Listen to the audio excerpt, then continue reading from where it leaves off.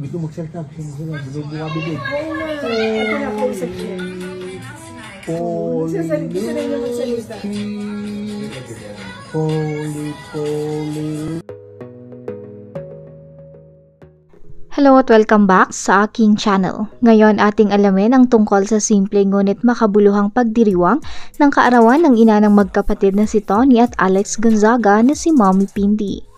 Kamakailan lamang nagdiwang ng kanyang kaarawan si Mommy Pinti sa isang magandang restaurant kasama ang kanyang pamilya.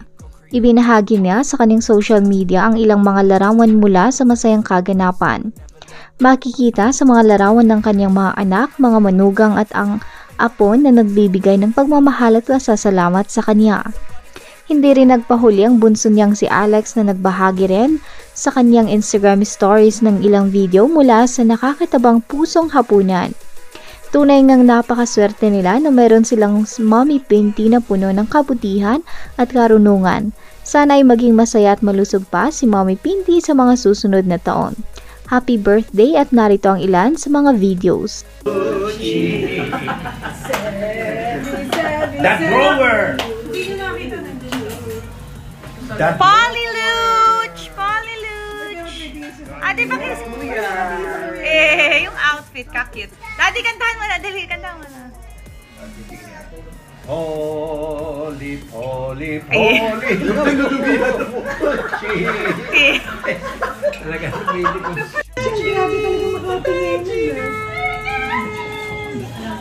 Grabe talaga makatingin you, sabi, three of you. cute! Polly! Hallelujah. Gusto magsalita. Gusto magsalita. Gusto bumabigay. Oo nga. Ito na ko. Sasalit ko na niya magsalita. Holy, holy. Kuya Sevi! You love, ano, Polly?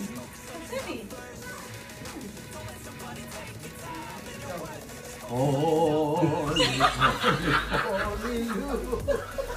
Nagagal, daddy, hindi ang takot mo. Eh, kinakanta ko nga lang sa video ko. eh. Isa pa, isa pa, daddy, one more time. One. Okay, oh, dead na, dead na. Take two. Holy. Oh, ay naman sa tawa. Sevi,